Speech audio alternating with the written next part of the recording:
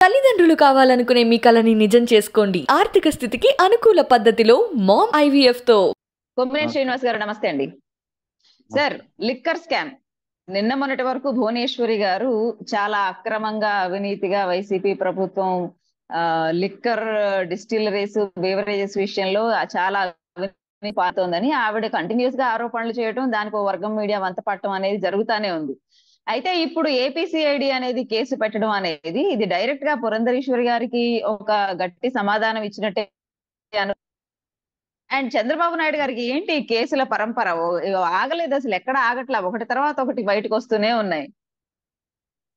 అంటే నాకు అర్థమైంది ఏంటంటే పురంధరేశ్వరి గారి మద్యం ఆవిడకి ఎందుకప్ప మద్యం కుంభకోణం అని అదని ఆవిడ ఎందుకు ప్రచారం చేస్తున్నారు? రాష్ట్ర ప్రభుత్వం మీద ఆవిడ నిజంగా ఆధారాలు ఉంటే ఆధారాలతోటి ఒక మాట ఇవ్వచ్చు స్టేట్మెంట్ ఇవ్వచ్చు. కానీ ఒకటి. పదే పదే అంటే ఏంటి ఈవిడ ఇట్లా చేస్తా ఉంది? ఎందుకు ఇట్లా? ఎవరన్నా ఇంకా వేరే వాళ్ళు ఎవరితోటన్నా కూడా మాట్లాడించకుండా తనే ఎందుకు మాట్లాడుతుంది? అని. అనుమానం వచ్చింది. అయితే తెలుగుదేశం పార్టీ వాళ్ళు అలాంటి ఆరోపణలు ఎన్ని చేసినా జనం పట్టించుకోవట్లేదు. వాళ్ళన్ని అబద్ధాలు ఆడుతున్నారనే ఫీలింగ్ వాళ్ళకి ఆ. క్రెడిబిలిటీ రావట్లేదు అనే ఫీలింగ్ ఏర్పడింది. అందుకని ఆవిడకి ఇచ్చి ఆ ఆరోపణలు అవన్నీ చేయించడం కేంద్ర హోంమంత్రికి ఇచ్చి ఫిర్యాదు చేయించడం ఇవన్నీ చేసినట్లుగా అనిపించింది. అయితే ఇప్పుడు అసలు విషయం బయటకు వచ్చింది అదేమిటంటే చంద్రబాబు మీద చంద్రబాబు నాయుడు గారి మీద ఉన్నటువంటి మద్యం స్కాము దాని మీద సిఐడి దర్యాప్తు చేస్తున్న సంగతి వాళ్ళకి తెలిసి ఉండాలి ఆ. తర్వాత అందులో చంద్రబాబు గారికి వ్యతిరేకంగా ఆధారాలు దొరికాయనేటువంటి సమాచారం ఏదో వారికి వచ్చి ఉండాలి అందుకే ముందస్తుగానే ఎదురుదాడి చేయడం కోసం పురంధరేశ్వరి గారు ఏపీ ప్రభుత్వం మీద ఆరోపణలు చేశారన్న అభిప్రాయం ఇప్పుడు వస్తా ఉంది. సాధారణంగా. చంద్రబాబు గారు ఇటువంటి ట్రిక్కుల్లో జట్ట. తన మీద ఏదైనా ఆరోపణ వస్తుందని అనుకుంటే ఎదుటివాడి మీద ముందే అదే ఆరోపణ చేసి అడావుడి చేసి ప్రచారం చేస్తుంటారు. సో కాకపోతే ఇప్పుడు ఆయన జైల్లో ఉన్నారు కాబట్టి ఆయనకు అవకాశం లేదు కాబట్టి ఆయన తరపున ఆయన వదినగా పురంధరేశ్వరి గారు ఇప్పుడు ఆ బాధ్యత తీసుకున్నారేమో అని అనిపిస్తోంది. అయితే ఇప్పుడు అసలు సమస్య ఆవిడకి ఎదురవుతుంది. అదేమిటంటే. ఓకే వైఎస్ఆర్ కాంగ్రెస్ ప్రభుత్వం మీద మీరు ఆరోపణలు చేశారు. బ్రాండ్లు. అన్నారు అది అన్నారు ఇది అన్నారు తీరా వస్తే ఆ బ్రాండ్లన్నీ చంద్రబాబు గారి టైంలో ఏమైనా ప్రభుత్వం చెబుతా ఉంది. మద్యం. కంపెనీలు కొత్తగా ఈ జగన్ గారు వచ్చిన తర్వాత ఒక్కడు కూడా ఇవ్వలేదు డిస్టిలరీలు అని వాళ్ళు చెప్తున్నారు. మరి ఇప్పుడు చంద్రబాబు గారి టైంలో ఏడాదికి పదమూడు వందల కోట్ల నష్టం జరిగేలాగా నిర్ణయాలు చేశారనేది సిఐడి అభియోగం మోపింది. ఆ మేరకు ఏసీబీ కోర్టులు మేము కూడా వేసేసింది. ఈ మీద పురంధరేశ్వరి గారు స్పందిస్తారా లేదా? స్పందిస్తే చంద్రబాబు గారి మీద అక్రమంగా కేసు పెట్టారంటారా? లేక ఎవరి మీద ఆరోపణ వచ్చినా నేను వ్యతిరేకిస్తానని చెప్తారా? ఎందుకంటే స్కిల్. స్కామ్ కేసులో ఆవిడ ఎక్కడా కూడా చంద్రబాబు గారిని ఒక్క మాట అనలేదు. పైగా అరెస్ట్ చేసిన తీరు బాగోలేదని ప్రభుత్వాన్ని తప్పు పట్టారు. మరి అరెస్ట్ చేసిన. తీరు దానికి ఏమైనా నిర్వచనం ఉందేమో మనకు తెలియదు ఎందుకంటే అరెస్ట్ చేసిన తీరు అంటే ఆయన హెలికాప్టర్ ఎక్కమంటే ఎక్కనన్నాడు. సరే ఆయన ఆయన అడిగినట్లుగానే కారులో తీసుకొస్తే కూడా వీళ్ళంతా తప్పు పట్టారు. మరి ఇప్పుడు స్కిల్ స్కామ్ కేసులో సపోర్ట్ చేసినటువంటి పురంధరేశ్వరి గారు మద్యం స్కామ్లో కూడా అలాగే చంద్రబాబు గారికి సపోర్ట్ చేస్తారా అన్న ప్రశ్న వస్తుంది. ఇక లోకేష్ గారు ఇదంతా కక్ష కావాలని ముప్పై ఐదు లక్షల కేసులు పెట్టాలి. జగన్ గారి మీద ముప్పై ఐదు వేల మంది. చనిపోయారు. అనారోగ్యం వల్లని చెప్తున్నారు. మరి ఆయన మీద ఎన్ని కేసులు పెట్టాలి? ఆయన తండ్రి గారి మీద ఎన్ని కేసులు పెట్టాలి? మరి ఐదేళ్ళ. పాటు ఆయనే అధికారంలో ఉన్నాడు కదా. నలభై ఐదు వేల బెల్ట్ షాపులు నడిచినాయి కదా. ఇప్పుడు జగన్ గారి ఒక్క బెల్ట్ షాప్ కూడా లేదు కదా. ప్రభుత్వమే మద్యం షాపులు నడుపుతోంది కదా. ఎక్కడ ఊరుకు దూరంగా పెట్టారు కదా. సో ఇవన్నీ ఆ, చా- చెప్పుకుంటూ పోతే చాలా ఉంటాయి. అయితే ఇక్కడ పాయింట్ ఏంటంటే ఇది కక్ష కాదా అన్నది ఇష్యూ కానే కాదు. కక్ష అయితే అవినీతి. చేసేస్తా. కక్ష కాకపోతే అవినీతి చేసినా పర్వాలేదా? ఇది కాదు. ఇందులో మెటీరియల్ ఉందా లేదా? చంద్రబాబు గారి ప్రభుత్వం మూడు డిస్టిలరీలకి మూడో నాలుగు డిస్టిలరీలకి ఫేవర్ చేసిందా లేదా? ఆరు Hmm, శాతం hmm. ఉన్న ట్యాక్స్ని పది శాతం చేయమని కమిటీ చెబితే వీళ్ళు మొత్తం ఎత్తేసారా లేదా? దాని వల్ల నష్టం ఏడాదికి పదమూడు వందల కోట్ల నష్టం వచ్చిందా రాలేదా? వీటికి Hmm, సమాధానం. చెప్పట్లా? దాని తగ్గట్టుగానే ఇవాళ ఈనాడు ఆంధ్రజ్యోతి చూశాను. ఈనాడు వాళ్ళైతే మరీ గొట్టలోడు తీసుకుని ఇంకేముంది? అసలు మరో అక్రమ కేసు మరో అక్రమ కేసు అని రాబడేశారు ప్రభుత్వం మీద వైసీపీ ప్రభుత్వం మీద ప్రతిపక్షాలు ఆరోపణలు చేస్తుంటే చంద్రబాబు గారి మీద ఈ కేసు అక్రమ కేసు పెట్టారని రాసేస్తున్నారు. ఒకప్పుడు ఇట్లా రాసేవాళ్ళం కాదు. ప్రభుత్వం సిఐడి చేసిన ఆరోపణకి ప్రాధాన్యత ఇచ్చి అది రాసిన తర్వాత ప్రతిపక్షం ఏం చెప్తుందో అది రాసేవాళ్ళు. లేదు మీరు ఇన్వెస్టిగేట్ చేస్తే ఇదిగో ఇది మాకు దొరికిన సమాచారం ఇది ఇట్లా ఇట్లా ఉండాలి. కానీ ఇట్లా లేదు. లేదా ఈ దీంట్లో చంద్రబాబు గారు తప్పిది లేదు చంద్రబాబు లేదు ఇందులో ప్రభుత్వం తప్పిది సిఐడి వాదన సరిగా లేదని ఒక ఇన్వెస్టిగేటివ్ స్టోరీ. ఇచ్చేవాళ్ళు. ఇప్పుడు అవన్నీ వదిలేసి గాలికి వదిలేసి మరీ నగ్నంగా రామోజీ గారు ఈ స్థాయికి దిగజారిపోతారని నేనైతే ఊహించలేదు ఆ రోజుల్లో. ఎంత నగ్నంగా రాశారంటే డైరెక్ట్ గానే అసలు అక్రమ కేసుల పరంపర అని అదని ఇదని మొదట రెండు మూడు పేరాలంతా అసలు కే- అసలు చంద్రబాబు గారి మీద పెట్టిన కేసు ఏంటో రాయలా? జగన్ గారి ప్రభుత్వం మీద ఆరోపణ వచ్చింది ఈ ఆరోపణ వచ్చింది. అలాంటి ప్రభుత్వం ఈయన మీద కేసు పెడతా. అదేంది ఆరోపణ వస్తే నువ్వు రుజువు చేయి. ఆరోపణ వస్తే నువ్వు ఆధారాలు చూపించు. అంతేగా ఈయన మీద పెట్టొద్దు చెప్తారు ఈయన మీద ఈయన మీద కేసు ఉంటే ఈ కేసుకి వాటికి సంబంధం ఏంటి? ఇప్పుడు వాస్తవంగా చెబుతున్నారు. ఇన్ని డిస్టిలరీల్లో ఇట్లా జరిగింది. పలానా పలానా వాళ్ళకి పదమూడు వందల కోట్ల నష్టం వాటిల్తోంది ఏటాదికి కాకు కూడా రిపోర్ట్ చేసింది ఆదాయంలో నష్టం జరుగుతోందని. మరి వాటి ఏమిటి మీ స్పందన? దాన్ని పరిశోధించి కదా రాయాల్సింది? అది. రాయగా ఇంకో పాయింట్ ఏంటంటే నంద్యాల ఎంపీగా ఆ రోజుల్లో ఉన్న ఎస్పివై రెడ్డి గారు వైఎస్ఆర్ కాంగ్రెస్ తరఫున ఎన్నికయ్యారు. వైఎస్ఆర్ కాంగ్రెస్ తరఫున ఎన్నికైతే రెండు వేల పద్నాలుగులో రాష్ట్రంలో టీడీపీ ప్రభుత్వం వచ్చింది. దాంతో. వెంటనే ఆయన ఏపీ భవన్లోనే మరుసటి రోజే అసలు రెండు మూడు రోజుల్లోనే గవర్నమెంట్ వచ్చిన పార్టీ ఓడిపోయిన రెండు మూడు రోజుల్లోనే ఆయన వైసీపీకి గుడ్ బై చెప్పి టీడీపీలో చేరిపోయారు కండువా కప్పుకున్నారు దానికి కారణం ఏంటంటే Hmm. ఆయన ఆంతరికులతో చాలా మంది తోటి అంటుండేవాడు నేను అప్పుడే ఆయన డిక్షనరీ పెడుతున్నట్టున్నాడు దానికి ఏదో Hmm. లైసెన్సులు దానికి ట్యాక్స్లు ఇట్లాంటి ప్రాబ్లమ్స్ ఆయనకి ఏదో అనుకూలంగా నిర్ణయాలు అవసరమైనాయి సో అవన్నీ చేసుకోవాలంటే అధికార పార్టీలోకి వెళ్ళక తప్పదు అని ఆయన ఆయన తన సన్నిహితులతో చెప్తున్నట్టుగా ఆ రోజుల్లో మాబొట్టి వాళ్ళకు కూడా కొంతమంది చెప్తుండేవాళ్ళు. ఎందుకు అంత అడావుడిగా వెళ్ళిపోయారు? నంద్యాల అంత స్ట్రాంగ్ సీట్ కదా వైసీపీకి అని అడిగితే. ఆ తర్వాత ఆ, తర్వాత జరిగింది కదా? ఇది ఇప్పుడు బయటకు వచ్చింది. ఏ- రకంగా ఎస్పీ రెడ్డికి ఫేవర్ చేశారు? ఇది క్విట్ ప్రోకో అంటే. ఆయన ఎంపీ. పదవి టీడీపీకి రావటం ఎంపీ పదవిలో ఉండి టీడీపీ వైపు ఫిరాయించడానికి ఇచ్చిన చంద్రబాబు గారు ఇచ్చిన ఆఫర్ ఇది అనమాట అంటే ప్రభుత్వానికి నష్టం. అలాగే తన సొంత పార్టీ వాళ్ళు మరి పేపర్లో ఉందంటారు అయ్యన్న పాత్రుడు గారికి సంబంధించింది. అలాగే యనమల వియంకుడు గారికి సంబంధించిన డిస్టిలరీలు కూడా మేలు చేసే విధంగా నిర్ణయాలు తీసుకున్నారనేది మరో అభియోగం. ఈ ఈ ఈ క్రమంలో ఒక విషయం చెప్పి చంద్రబాబు గారి టైంలో ఇరవై మూడు మంది వైసీపీ ఎమ్మెల్యేలని కొనుగోలు చేశారనే అభియోగాలు అప్పట్లో వచ్చాయి. కొనుగోలే. ఎందుకంటే మనం చెప్పడం కాదు.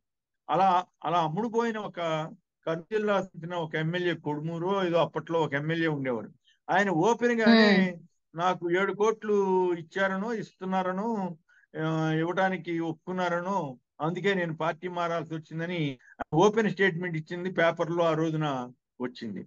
అలాగే. నాకు. తెలిసి ఒక ఈస్ట్ గోదావరికి సంబంధించిన ఒక ఆయన ఒక ఎమ్మెల్యే వైసీపీ ఎమ్మెల్యే ఆయన అప్పుల్లో ఉన్నాడు. అప్పుల్లో ఉంటే ఆ అప్పులు తీర్చుకోవడం కోసం చంద్రబాబు గారు ఇచ్చిన ఆఫర్ని కాదనలేక ఏమో మరి ఆ అప్పులు తీరాలంటే కష్టం కదా ఐదేళ్ళు నేను ఎక్కడ ఉండేది అని చెప్పి ఆయన కూడా పార్టీ మారారు.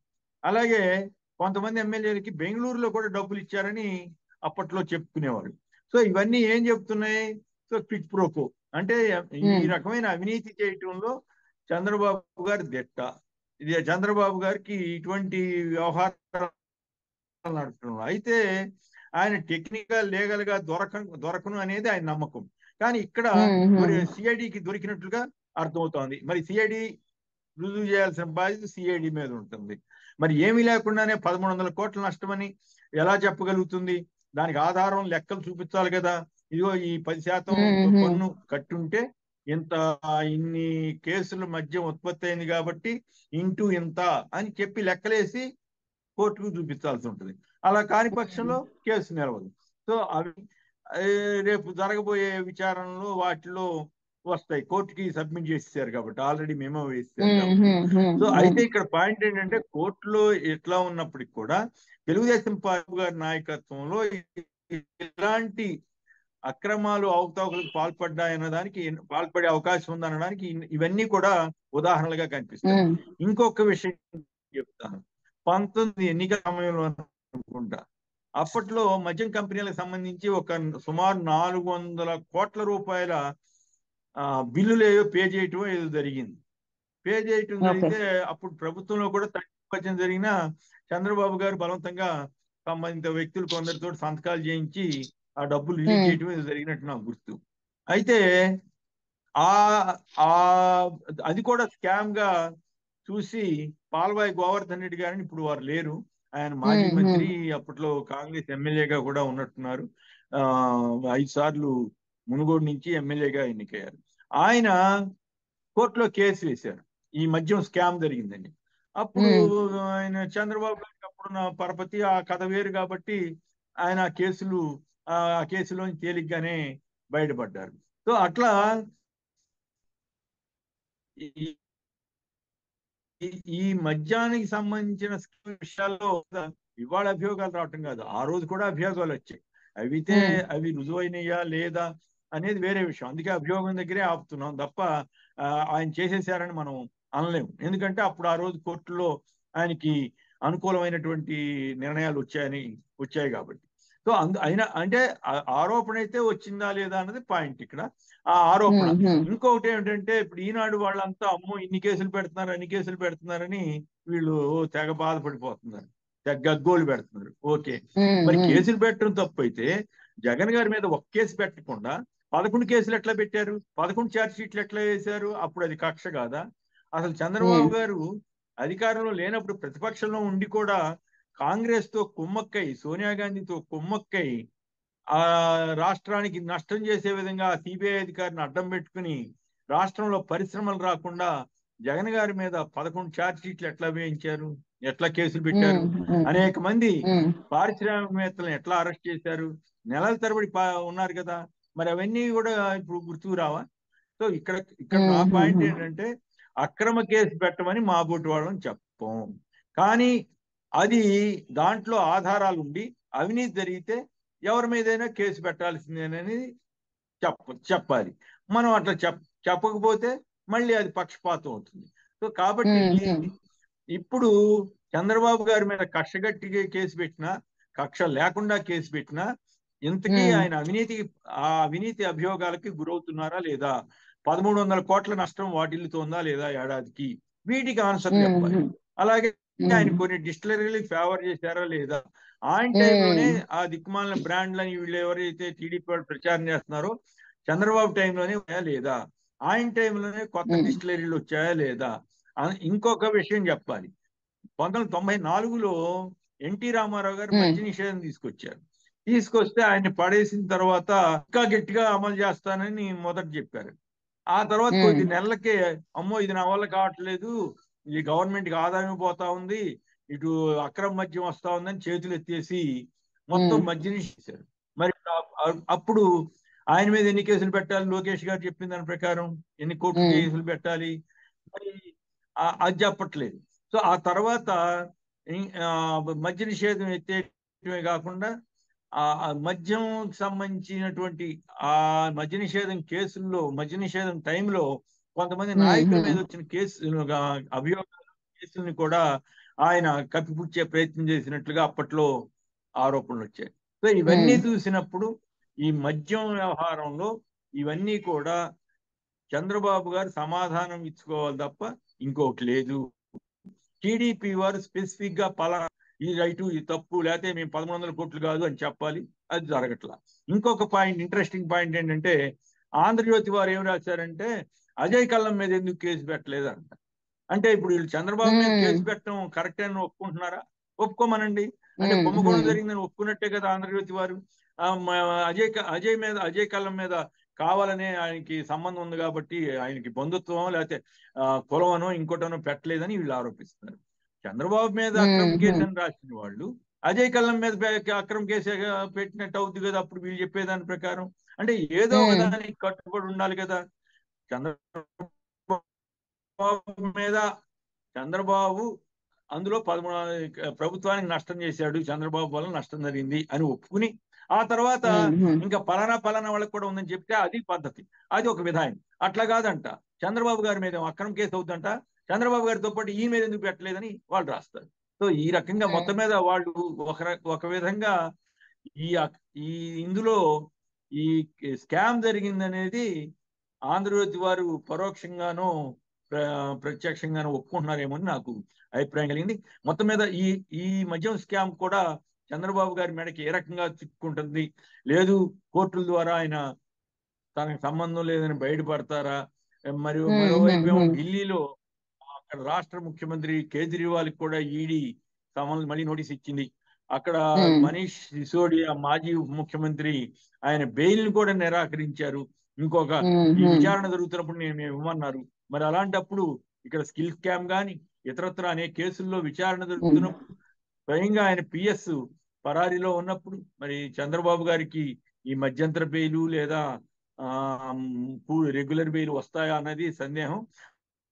అది ఇబ్బందులను దృష్టిలో ఉంచుకునే వాళ్ళు సెవెంటీన్ ఏ పేరు మీద లేదు కంటి అనారోగ్యం అని కంటి ఆపరేషన్ అని అందుకు మధ్యంతర బెయిల్ ఇవ్వండి అని ఇట్లాంటివి అడుగుతున్నారు అనేది అర్థమవుతా ఉంది కోర్టులు ఎలాంటి. నిర్ణయం తీసుకుంటారో చూడాలి ఓవరాల్గా ఈ మద్యం స్కామ్లో మాత్రం చంద్రబాబు గారు పూర్తి స్థాయిలో ఇరుక్కున్నారా లేదా ఏమిటి అనేది కోర్టులు నిర్ధారించవలసి ఉంటుంది on the face of CID చెప్తున్నటువంటి ఆధారాలు ఇవన్నీ చూస్తే. మాత్రం సంథింగ్ ఫిషీ ఏదో మొత్తం మీద పదమూడు వందల కోట్ల లేదా ఇంకొంచెం తక్కువ ఎక్కువ అనేది పక్కన పెడితే అవినీతి జరిగింది అనేది మనకి అయితే పన్నుల గురించి మాట్లాడితే రెండు వేల పన్నెండు పదిహేను మధ్యలో ముప్పై వేల కోట్ల పన్నులు వచ్చినా సరే తర్వాత చాలా డ్రాస్టిక్గా ఆ నంబర్ అనేది తగ్గింది అనేది ఏపీసీఐడి అంటుంది అంటే టీడీపీ హయాంలో పాలసీస్ అన్నిటిని కూడా తమకి ఇష్టం వచ్చినట్టు మార్చేసాయనేనా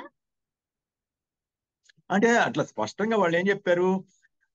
ఆ రెండు వేల పన్నెండు నుంచి పదిహేను వరకు ఉన్న విధానాన్ని మార్చి మార్చి. మార్చడంలో కొన్ని కంపెనీలకి ఫేవర్ చేసే విధంగా చేశారన్నది అభియోగం అవేమిటి ఆరు శాతం నుంచి పది శాతానికి ప్రివిలేజ్ ఫీజు ఏదో పెంచమని అదనపు ఫీజుని. పెంచమని కమిటీ రికమెండ్ చేస్తే ఈయన. ఉన్నది కూడా తీసేశారన్నది అభియోగం దానివల్ల నష్టం వచ్చిందని కాగ్ కూడా వ్యాఖ్యానించినట్లుంది సో అందువల్ల దాని ఆధారంగా లెక్కలేసి ఇంత నష్టం జరిగిందని పదమూడు వందల కోట్ల నష్టం ఏడాదికి అని చెప్తున్నారు సో దాని. ప్రకారం మరి ఆయన టైంలో నష్టం?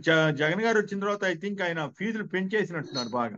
ఫీజులు పెంచితే కూడా వీళ్ళు విమర్శలు చేశారు. అంతేకాకుండా అసలు మద్యం రేట్లు పెంచుతారా అని చంద్రబాబు గారు మద్యం తాగండి తమ్ముళ్ళు మీరు సాయంత్రం అయితే మద్యం తా తాగితే బాగానే ఉంటది కదా అని ఆయన ప్రచారం చేయటం అనేది మరీ అనైతికం. సో ఈ రకంగా చాలా కథలు జరిగాయి. ఇప్పుడు ఆ- ఆ ఫీజుల వ్యవహారం ఇవన్నీ ఈ వచ్చే రోజుల్లో మరిన్ని వివరాలు బయటకు వస్తాయి కాబట్టి మనం వేచి చూడాల్సి ఉంటుంది. ఆ తర్వాత ఏం జరిగింది? ఎట్లా ఈ గవర్నమెంట్ వచ్చిన తర్వాత ఏం జరిగింది? ఇవన్నీ కూడా ఇప్పుడు బయటకు వస్తాయి. Right sir thank you very much sir లైవ్లో జాయిన్ అయ్యేందుకు నమస్తే సార్